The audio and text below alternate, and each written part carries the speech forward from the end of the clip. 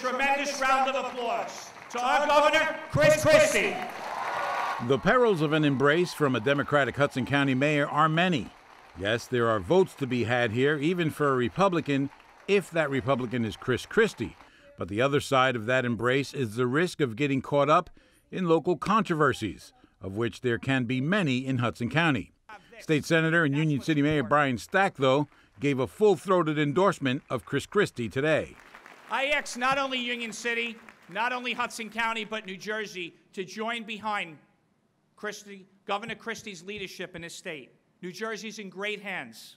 The governor was in town to cut the ribbon for a renovated and rechristened Colin Powell Elementary School, paid for with funds from the Schools Development Authority, made possible by the chummy relationship between one of Hudson County's most powerful politicians and the irresistible political force that is Chris Christie. I have to tell you that there's not a week that goes by in the State House in Trenton where I don't hear from Mayor Stack about what's going on here in Union City.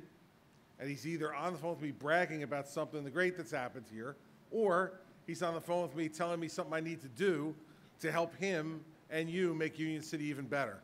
But Stack is carrying around some baggage this week.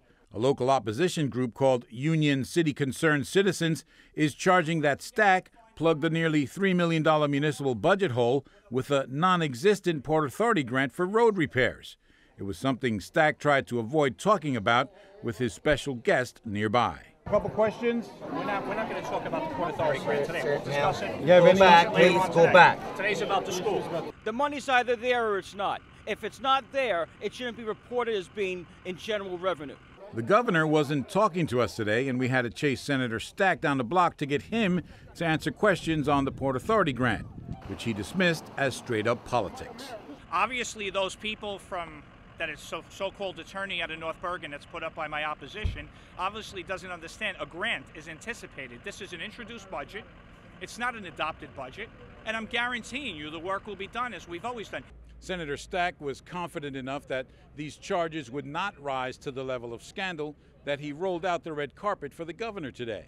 And the governor seemed comfortable enough with Brian Stack to accept the red carpet treatment.